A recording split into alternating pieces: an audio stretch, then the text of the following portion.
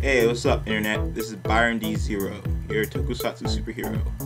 And I know I haven't been doing many videos tokusatsu related in a while, but I want to talk about uh, a game I played last year that has still left a very bitter taste in my mouth. Super Sentai Battle Ranger Cross for the Wii. Now this Dynasty Warriors knockoff fills me with so much hate.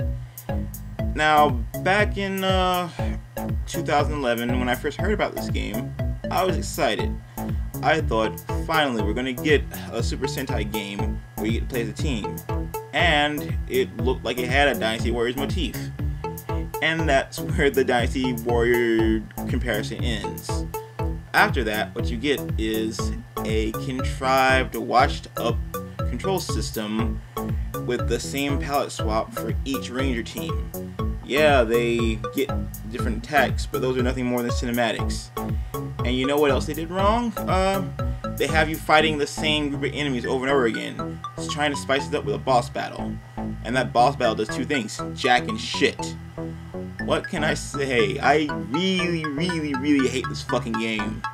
And I'm so glad that I didn't have to buy this game myself, because if I had, I would be so apeshit. I could have used that money to buy a SH Figuarts, buy some food, buy a buy a better game. But you know, I got I got it from someone else, a friend, a very generous friend. I'll leave it at that. Uh, you know, if you want to check this game out, be my guest. But it would be against my better judgment to say that this game is worth buying. Like I said before, avoid this game like the plague.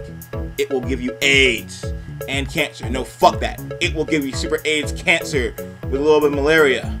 It will melt your spine. It will destroy your brain. It will make you shit out of your mouth.